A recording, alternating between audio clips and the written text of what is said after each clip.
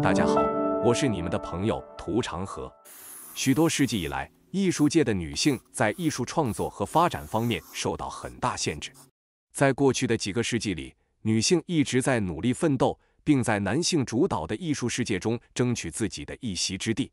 许多勇敢而有才华的女性艺术家坚持追求自己对艺术的热情，并通过他们的作品发出了自己的声音。他们经历了巨大的挑战，争取在男性主导的艺术世界中获得认可和成功。今天，涂长河将带您穿越时空，一起来简单了解一下闻名世界的女性艺术家的成长经历、代表作和主要成就。Katerina van Hemessen（ 卡特里娜·凡·海默森）。一五二八年至一五六五年，是一位佛兰芒文艺复兴时期的画家。她是目前可以证实存在作品的最早期女性佛兰芒画家。她以在一五四零年代末至一五五零年代初完成的一系列小型女性肖像以及一些宗教题材作品而闻名。她的作品现收藏于巴塞尔艺术博物馆、阿姆斯特丹的国立博物馆和伦敦的国家美术馆中。凡海默森于1528年出生在比利时安特卫普的一个艺术世家中，并从父亲 Jan Sanders van Hemessen 那里接受了绘画训练。对于当时希望成为画家的女性来说，有许多障碍需要克服。他们的培训需要解剖尸体并研究裸体男性形象，而学徒制度意味着渴望成为艺术家的人需要在一个年长的艺术家身边生活四到五年，通常从九岁到十五岁开始。因此。女性画家非常罕见，那些能够成功的通常是由亲属进行培训，正如凡海默森的情况一样，他的父亲对他进行了培训。凡海默森最拿手的是人物肖像画。一五四八年的时候，他曾经画了一幅非常著名的自画像，现藏于巴塞尔艺术博物馆。这部作品不仅仅是北方文艺复兴第一幅女画家的自画像，还被认为是史上第一幅表现画家坐在画架前工作的自画像。他在画中用拉丁文写了这样一段话。我 Katerina van Hemessen 画了我的自画像，在一五四八年，她刚满二十岁。从画中我们可以看到，画中的女子容貌算不上出众，身材瘦弱，工作辛劳。但是握紧画笔的一刻，她便不再是被封建社会中一重又一重强加的身份和责任束缚的第二性，不是小姐或夫人，而是饱蘸墨汁的画家，是孜孜不倦的理想主义者。他握着笔，正如领主掌控着土地和财富，将军手握利刃。温柔似水，又坚韧无畏。同时，在一五四八年，他画了弹钢琴的女人，可能是他妹妹 Christina 的肖像画。人们认为他的自画像和弹钢琴的女人是一对需要悬挂在一起的作品。凡海默森主要创作以现实主义为特点的肖像画，这些模特通常坐着，被描绘在一个深色或中性的背景下。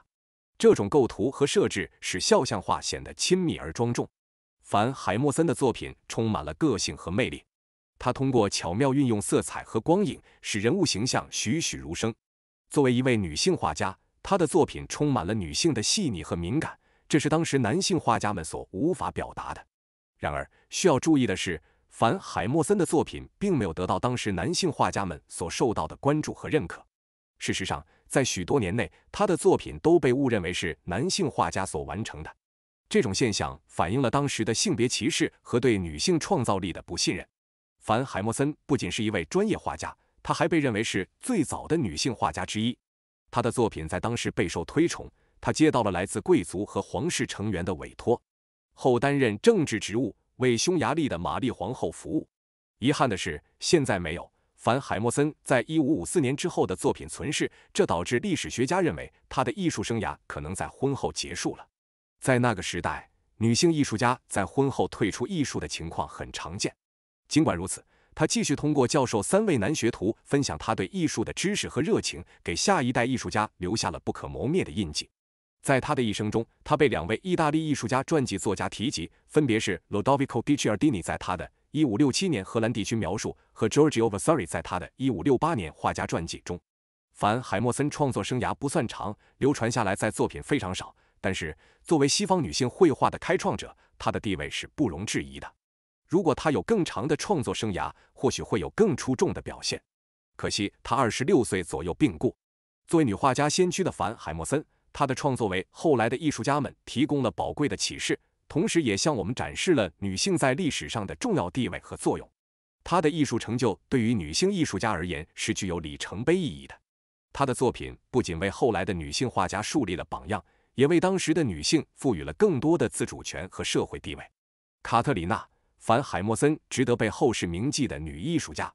Propercia de Rossi 普罗佩奇亚·德罗西，一四九零年至一五三零年。她被认为是西欧艺术界最早在雕塑领域专业化的女性之一。她的成就是在雕塑作为一种艺术形式被认为是男性的特权的时代取得的。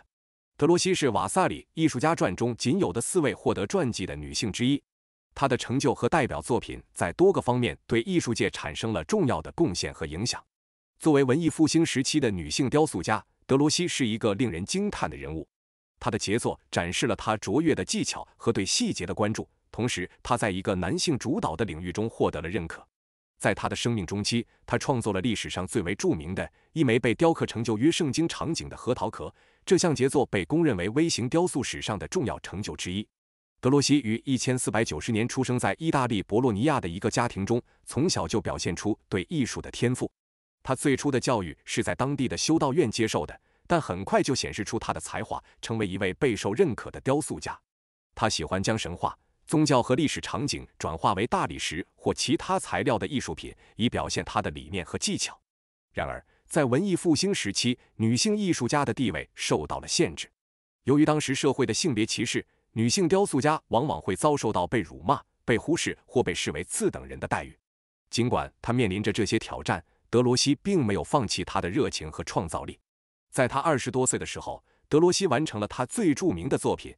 一枚核桃壳内雕刻的旧约圣经场景，这个核桃壳是三点二厘米长的一个小壳，里面被刻出了一百四十个细节丰富的场景，包括亚当和夏娃被驱逐出伊甸园、亚伯和该隐的故事，以及其他一些圣经中的场景。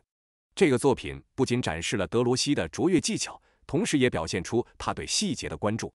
这个杰作被赞誉为文艺复兴时期最有名的微型雕塑之一。德罗西他的职业生涯始于在陶盒中雕刻复杂的图案，后来发展为公共委托的大理石雕塑，而其浮雕《约瑟夫和波提乏的妻子》（Joseph and Potiphar's Wife） 至今仍然陈列在博洛尼亚主广场的圣白托略大殿 （The San Petronio Basilica）。这件作品在当时引起了爆炸式轰动，并被认为是意大利文艺复兴时期雕塑的杰作之一。在这个作品之后，他又进行了许多其他的创作。如卡文迪什家族墓的祭坛、圣母玛利亚的大理石像和各种其他的雕塑作品。然而，由于时间的流逝，这些作品的大部分已经失落了，只有少数的雕塑作品被保留下来。德罗西的成就和创造力得到了当时许多重要人物的赞誉，包括教皇克冕七世。然而，由于他的性别和社会地位，他有时会遭受到嘲讽和不公正对待。尽管如此，他仍然继续以他的天赋和热情为指引，创造出了许多卓越的艺术品。艺术家兼传记作家乔治·瓦萨里在他的文艺复兴时期艺术创作史开山之作《艺术家生平》（Louis de i Excellenti Pittura Scultori e Architecture） 一千五百五十年和一千五百六十八年中，专门辟出一章介绍德罗西在那个男性占主导的领域，她是唯一一位女性艺术家。德罗西，一位非常值得赞扬的文艺复兴时期的女性雕塑家。他的杰作展示了他的卓越技巧和对细节的关注，并在一个男性主导的领域中获得了认可。虽然他面临着性别歧视和其他的挑战，作为一位优秀的女性艺术家，她突破了当时对女性从事艺术创作的限制和偏见，仍然坚持追求自己的热情和创造力，这使她成为一个真正的艺术家和先驱。她的才华和努力为后来的女性艺术家们铺平了道路，为他们争取了更多的机会和尊重。德罗西的精神将继续影响和启发人们女性在艺术领域中的无限潜力和创造。Lavina t i r l i n k 列维娜·泰林克（一五一零年至一五七六年）是一位在十六世纪活跃的女性画家，她在微型肖像画兴起中拥有非常关键地位。泰林克被认为是英国最早的女性肖像画家之一，曾担任亨利八世、爱德华六世、玛丽一世和伊丽莎白一世英国宫廷的画家，以她在英国宫廷中的工作而闻名。作为第一位获得英国玛丽一世女王官方任命的女性画家，她为当时的宫廷和贵族创作了许多精美的肖像画。她的作品不仅展示了她的艺术才华，同时也为研究当时英国宫廷生活提供了重要的历史资料。泰林克生于佛兰德斯地区，他出生在一个艺术世家，父亲 Simon Benning 是一位著名的手稿插图画家。在这样的环境中长大，他从小就接受了艺术教育，并展现出了绘画的天赋。他的父亲是他最早的导师，泰林克通过学习父亲的画作和技巧，为以后的绘画生涯打下了坚实的基础。春去秋来，冬去春来，泰林克在欧洲大陆的声誉日益增长，他的作品开始受到各国贵族的青睐。据说，他曾为法国国王弗朗索瓦一世等重要人物绘制过肖像画。在他二十多岁时，泰林克被英国国王亨利八世的宫廷请来担任皇家画家，这是一个非常罕见的机会，尤其是对于当时的女性来说。在英国，泰林克得到了英国玛丽一世女王的赏识，并于1546年成为她的官方画家。他在1556年为玛丽一世画了《A Small Picture of the Trinity》作为新年礼物。泰林克的工作就是创作女王及其家庭成员的肖像画，以及为外交使节绘制礼品肖像。在1556年到1576年，创作了《A Full-Length Portrait with Knights of the Order》等画作。泰林克的作品以其细致入微的绘画技巧和精湛的细节而闻名。他经常使用细小的毛笔和颜料，以及纤细的笔触，为他的作品增添了惊人的细腻度。他擅长描绘人物的面部表情和服饰的细节，使他的作品栩栩如生。除了绘制肖像画，泰林克还从事书法和装饰手稿的工作。他在英国宫廷中负责制作精美的手稿，经常与其他著名的手稿画家合作。他的手稿通常装饰着华丽的边框、文章和小型插图，展示了他在绘画和装饰方面的多样才华。泰林克在英国宫廷中的工作为他赢得了极高的声誉和地位，他成为当时英国最受尊敬的女性画家之一，并被授予许多荣誉。然而，由于历史记录的不完整，仅有少量的作品可以追溯到他的手笔。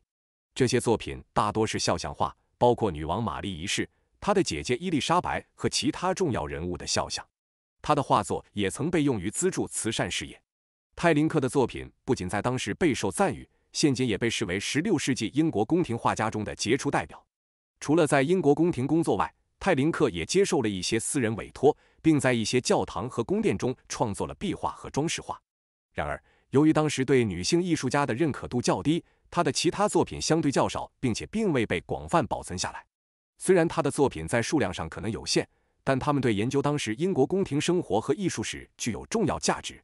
泰林克作为一位杰出的女性画家，她的才华和成就为后来的女性艺术家树立了榜样。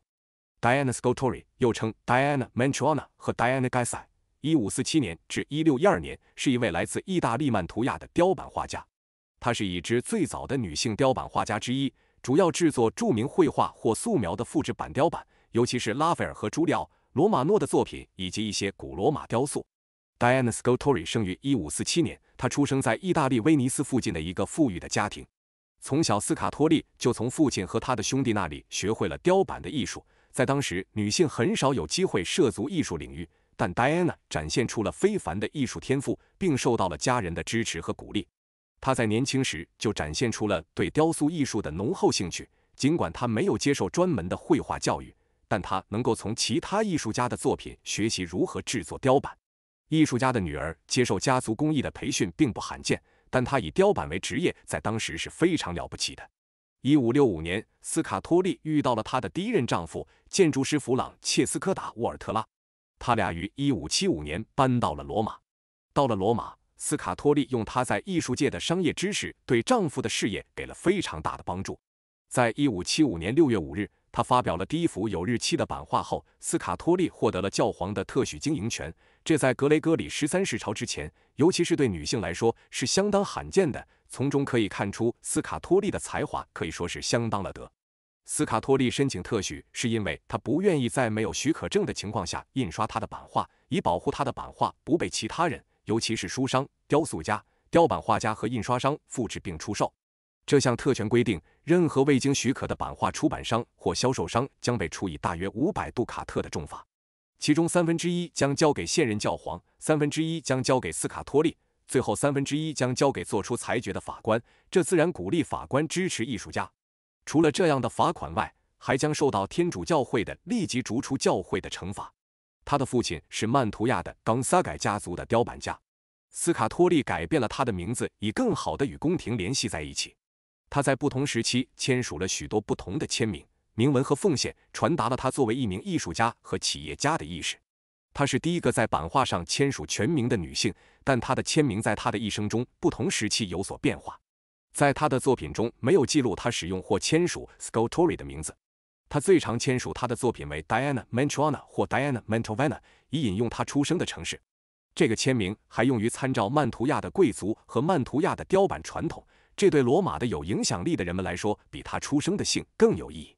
斯卡托利不仅仅是一位雕版画家，还是一名非常出色的女商人。她的精明不仅在她成功申请教皇特许经营权上看到，还体现在她为丈夫的建筑作品宣传的版画上。在一五七六年至一五八零年之间。她制作了四幅描绘柱头原件和其他建筑细节的版画，包括 Big and Real and Egg and Dart 装饰。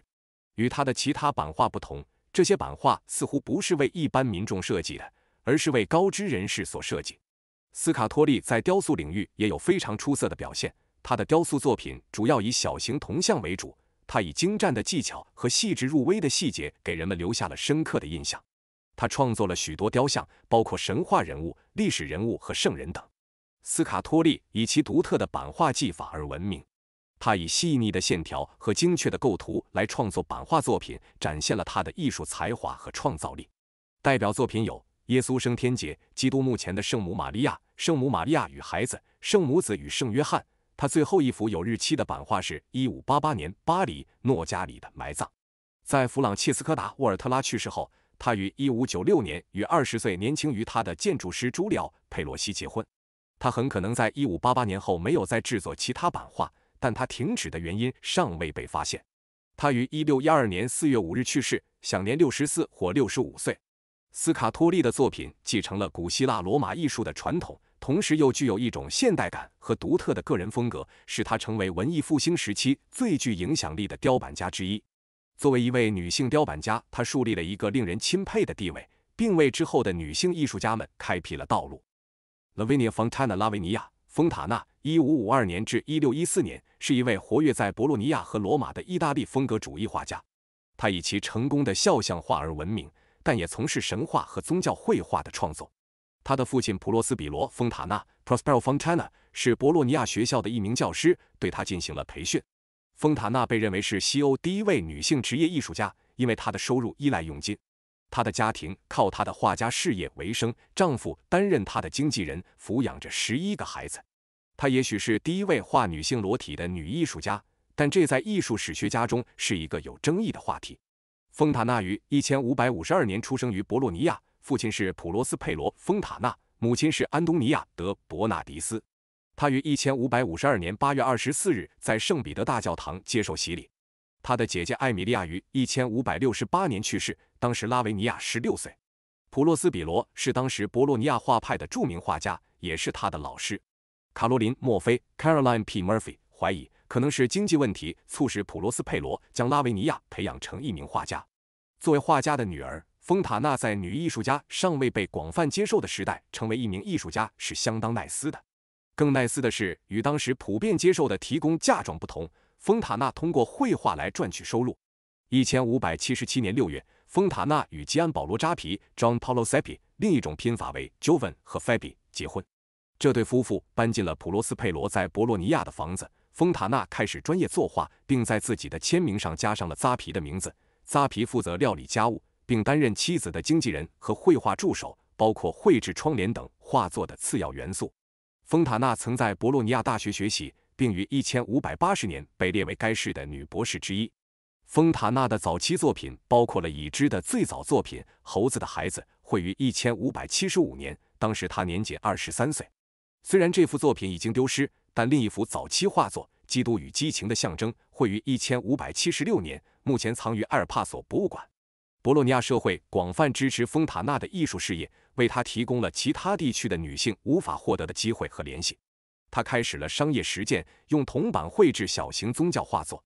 由于金属的价值和光泽，这些画作作为教皇和外交礼物备受欢迎。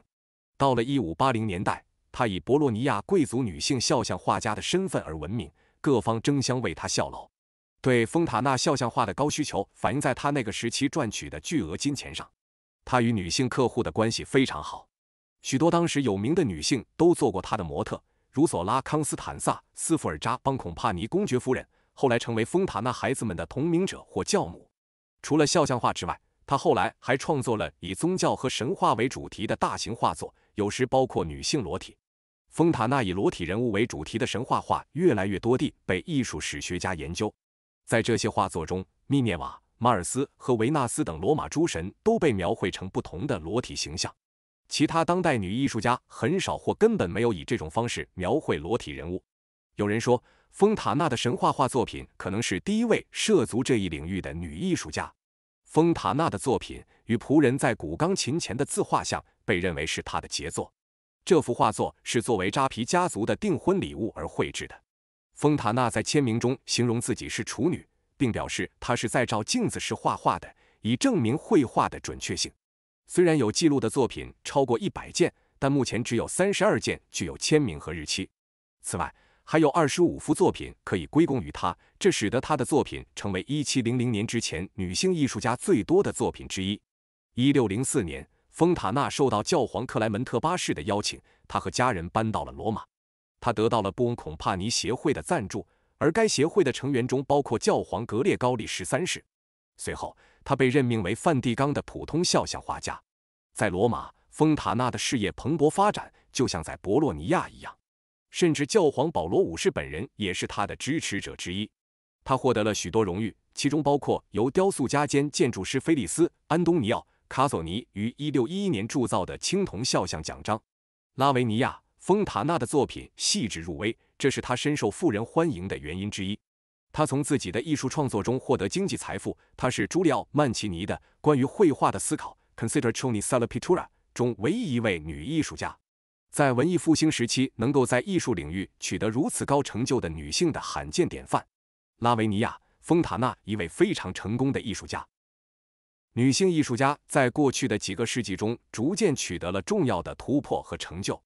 她们通过创新的艺术风格、独特的主题选择和对时代的敏锐洞察力，在艺术界产生了积极的影响。她们的作品逐渐受到了更多人的注意和赞赏。为后来的一代女性艺术家树立了榜样。